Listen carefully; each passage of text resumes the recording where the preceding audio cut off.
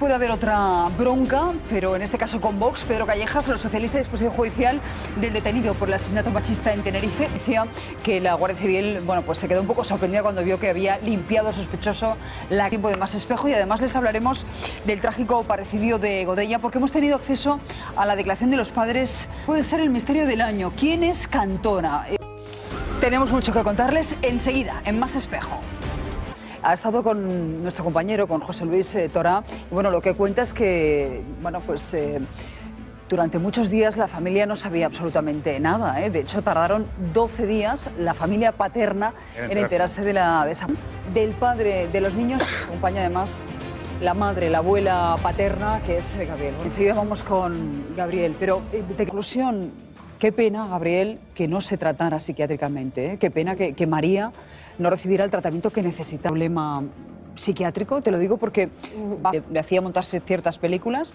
¿Tenía algún problema mental? ningún problema. Viendo todo esto.